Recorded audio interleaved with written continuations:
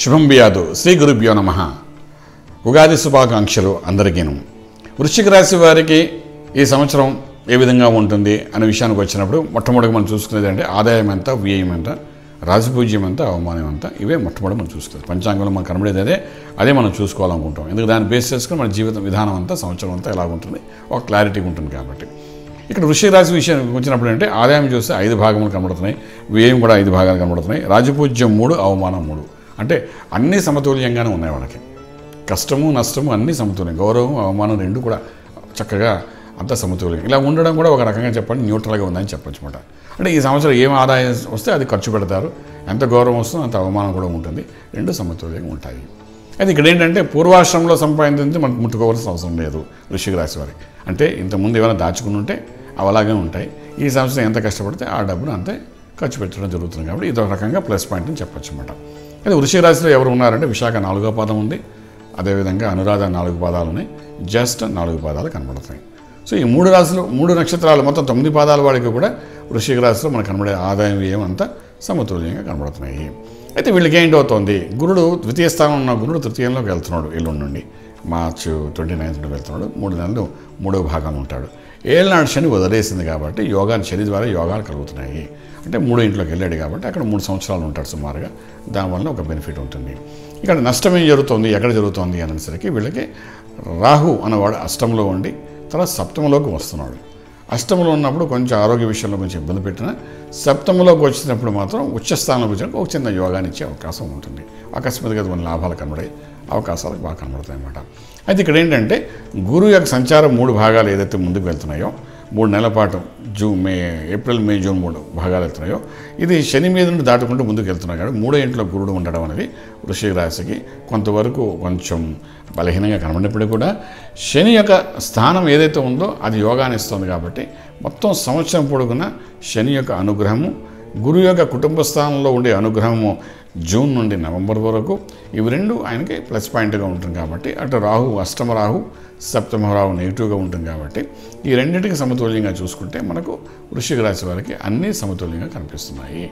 అంటే ఆదాయం ఐదు వ్యయం ఐదు రాజపూజ్యం అనేది మూడు అవమానది మూడుగా కనిపిస్తుంది. సో ఇలా ఉన్న ఈ గురువు ఏదైతే ఉందో గురువే శరణ్యం ఈ వృషిక రాశి వారు కూడాను.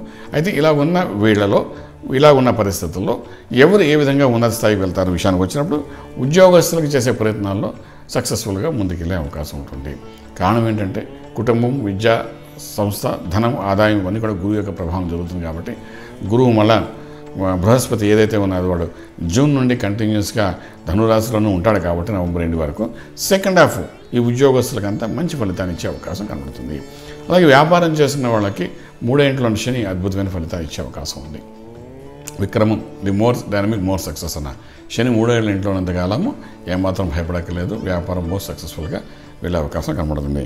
అలాగే వివాహ వ్యవస్థ కోసం చేసే ప్రయత్నాలలో తను కాకపోయినా తన నైబర్స్ అంటే తన అన్నదమ్ములు అక్కచెల్లెలు పిల్లల యొక్క వివాహ విషయంలో తను చేసుకునే ప్రయత్నాల్లోని తన చేయ వేసి కొంతవరకు సక్సెస్ఫుల్ చేయడానికి అద్భుతంగా ముందుకెళ్ళే అవకాశం ఉంటుంది తప్ప ఇంకా వేరే ఏ కుటుంబానికి జరిగే ఒక శుభకార్యంలో పార్టిసిపేట్ చేయడము కుటుంబాని కోసం పాటు తాపత్రయపడడం ఒక ఇల్లు కొనడం కానీ ఒక వివాహం చేయడం కానీ చేసే ప్రయత్నాల్లో తన అందు ఒక హస్తం వేసి చక్కగా సక్సెస్ఫుల్ చేయడము ఇటువంటి కార్యక్రమాల వల్ల కొంతవరకు లాభము కొంతవరకు అవమానము రెండు పడే అవకాశం అయితే వృషిక రాశి వారికి బాగానే కనిపిస్తుంది చెప్పగలుగుతాం.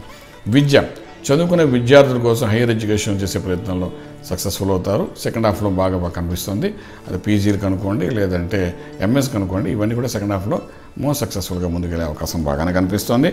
రాజకీయ నాయకుల విషయానికి వచ్చినప్పుడు వృషిక రాశి వారికి అద్భుతమైన ఫలితం కనిపిస్తుంది. జాగ్రత్తగా హ్యాండిల్ చేసుకుంటే కొంచెం సమన్వయం కానీ పాటించగలిగితే అనుకున్న పోస్టు అనుకున్న స్థాయికి వెళ్ళడానికి అవకాశం రాజకీయ వ్యవస్థలో బాగానే కనిపిస్తుంది. ఇక చూస్తే మనకు ఇండస్ట్రియస్ట్ వ్యాపారస్తులందరికీ కూడా బ్రహ్మాండమైన ఫలితాలు కనబడే అవకాశం ఉంది. ఐదు ఆదాయం ఐదు మేము అనుకున్నా ఆదాయం ఐదే చాలా విపరీతమైన యోగం కనిపిస్తుంది. ఖర్చు అనేది సహజంగా ఉంటుంది. బట్ అద్భుతమైన ఆదాయం అయితే బాగా కనిపిస్తుందని చెప్పడానికి అవకాశం ఉంది. అగ్రిమెంట్స్ కానీ కాంట్రాక్ట్స్ కానీ ఎంఓయూ మెమోరియల్ ఆఫ్ అండర్స్టాండింగ్స్ కానీ ఇలాంటివన్నీ వృషిక రాశి వారు చక్కగా చేసుకోవచ్చు. లైఫ్ అంతా బాగానే ఉండేట్టుగా జరిగే అవకాశం ఉంటుంది. దీని తర్వాత మనం చూసుకునే జాయింట్ వెంచర్స్ రియల్ ఎస్టేట్లో కానీ కన్స్ట్రక్షన్ కానీ స్టీలు సిమెంట్ ఐరన్ మనకు అదే రైతాంగానికి కానీ ఆగ్రో ఇండస్ట్రీలో వాళ్ళకి కానీ power plant solar system education institute tutorials coaching సెంటర్లు ఇటువంటి రన్ చేసే వ్యవస్థలందరికీ కూడా కూడా అగ్రిమెంట్స్ ఏమైనా చేసుకోవాలంటే చేసుకోండి. డెఫినెట్గా అదొక లాంగ్ లాస్టింగ్ బిజినెస్ లాగా ఉండే అవకాశం ఉంటుంది. అసలు కింద పడకుండా సత్ఫలితాలు ఇచ్చే అవకాశం బాగా కనబడుతుంది. అలాగే ఫ్యామిలీ పరంగా తీసుకున్నప్పుడు ఫ్యామిలీలో శుభవార్తలు వింటారు. వీళ్ళింట్లో కాకపోయినా వీళ్ళ అన్నదమ్ముల ఇంట్లో శుభవార్తలు ఉండడం దానికి ఇనిషియేట్ చేయడం దానికి ఈ డెఫినెట్గా పార్టిసిపేషన్ చేయడము దానివల్ల ఒక ఆనందకరమైన ఆహ్లాదకరమైన వాతావరణం చూడడము. ఇవన్నీ కూడా మనకు ఈ యొక్క గురువు యొక్క అనుగ్రహం జరుగుతుంది చెప్పచ్చు. ఇది కాకుండా ఇక మనం చూస్తే ఫిల్మ్ ఇండస్ట్రీ రంగానికి సంబంధించిన వాళ్ళకైతే వ్యాపారం చాలా బాగుంటుంది. అనుకున్న అనుకున్నట్లుగానే ఎక్స్పెక్టేషన్ దానికి తగ్గట్టుగానే ఆర్థిక బలం అనేది పెంపొందించుకోవడానికి అవకాశం బాగా ఉంటుంది యాక్టర్స్ కానీ యాక్ట్రెసెస్ కానీ డైరెక్టర్స్ ప్రొడ్యూసర్స్ అందరికీ కూడా కావాల్సినంత ఫలితం అనేది కనబడుతుంది. ఇది కాకుండా మనం తీసుకున్నప్పుడు ఈ గురువు యొక్క అనుగ్రహం ఏదైతే మూడో భాగంలో వెళ్తుందో మళ్ళీ రిటర్న్ వచ్చేస్తున్నప్పుడు అంటే కొంత దోషిగా ఉంటాడు కాబట్టి ఇక్కడ సూర్య ఆరాధన సుబ్రహ్మణ్యేశ్వర స్వామి ఆరాధన ఈ రెండు చేసుకోవడం ప్రయత్నం చేయండి. సూర్య ఆరాధన అంటే ఓం గురుని సూర్య ఆదిత్యం అనే మంత్రాన్ని ఇంత ముందు కూడా చెప్పుకున్నాను. ఈ మంత్రాన్ని సాధన చేసుకుంటూ నిత్యం సుబ్రహ్మణ్యేశ్వర స్వామికి అభిషేకం చేసుకోవడానికి ప్రయత్నం చేయండి. ఈ రెండింటి యొక్క ప్రభావం ఏంటంటే కొంతవరకు ఆరోగ్యము ఐశ్వర్యము రెండు కలిసి వచ్చే ఒక అంశంగా కనబడుతుంది అభిషేకం ఎప్పుడు ఐశ్వర్యాన్ని ఇవ్వడానికి ప్రయత్నం చేస్తుంది. సూర్యనారాయణమూర్తి యొక్క ఆరాధన ఉంది ఆరోగ్యాన్ని ఇవ్వడానికి ప్రయత్నం చేస్తుంది. ఈ రెండు ఎప్పుడైతే మనం చేసుకుంటూ వెళ్తుంటాం అష్టంలో ఉన్న రాహువు ప్లస్ సప్తమ రాహు యొక్క ప్రభావం ఏంటంటే ఆరోగ్యంలో కొంచెం తేడాలు వచ్చే అవకాశం ఉంటుంది కాబట్టి దీని తోడుగా మనకు ఉగాది నుండి ముందే మనకి కరోనా వ్యాధి అనేది మన ప్రపంచం అంతా వ్యాపించి ఉంది కాబట్టి అటువంటివి కూడా దగ్గర రాకుండా ఉండడానికి మనం ఇక్కడ సుబ్రహ్మణ్య స్వామి యొక్క అభిషేకము ఆ తీర్థము తీసుకోవడం ప్రయత్నం చేయండి. అష్టంలో ఉన్న రాహు ప్రభావము ఇవి రెండు కనెక్ట్ అవుతున్నాయి కాబట్టి వాటి దూరంగా ఉండడానికి అవకాశం ఉంటుంది.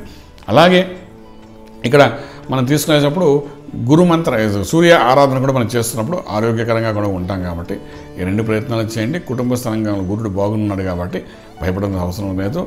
ఏ ప్రయత్నం అయినా ప్రమోషన్స్ కానీ ఇంక్రిమెంట్స్ కానీ కొత్త ఉద్యోగాల కోసం కానీ ఇటువంటి వాటిని చేసే అన్ని ప్రయత్నాలు కూడా సక్సెస్ఫుల్గా సెకండ్ హాఫ్లో బాగా కనిపిస్తుంది కాబట్టి భయపడకండి.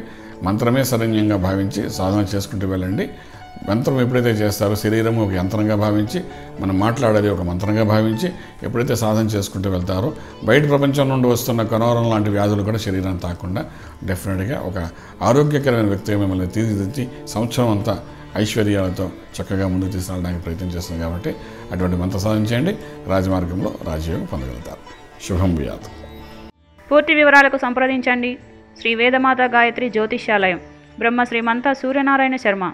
Srinilayam first floor one not one Sai Vaibhav layout Chitrapuri colony Khajaguda Hyderabad five lakhs eight సంప్రదించవలసిన phone numbers triple eight triple five nine one four seven triple eight triple five nine one four eight nine eight four triple nine six triple four